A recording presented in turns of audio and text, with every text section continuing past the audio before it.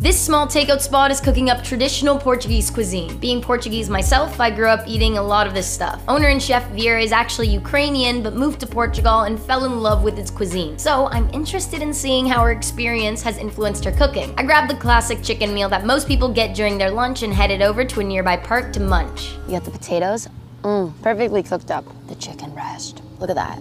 Ooh, mm. oh my God, and she loaded it up. It's only one person in there, Vira. Mm. I grew up eating Portuguese food because, well, I'm Portuguese. This chicken is the highlight. Mm. Frango, rotisserie chicken. Got some rice. Stop, that rice is nice. There's a nice little hint of spice. How much can I take of this hot sauce? That's the question. Let's see how hot it is. It doesn't taste like hot sauce, but it's a good flavor. The potatoes, they're a little softer than what I'm used to, but I'm liking them. But honestly, what hits the spot for me is the rice and the chicken breast. But overall, 9 out of 10. Visit Vira's Barbecue at 1969 Davenport Road.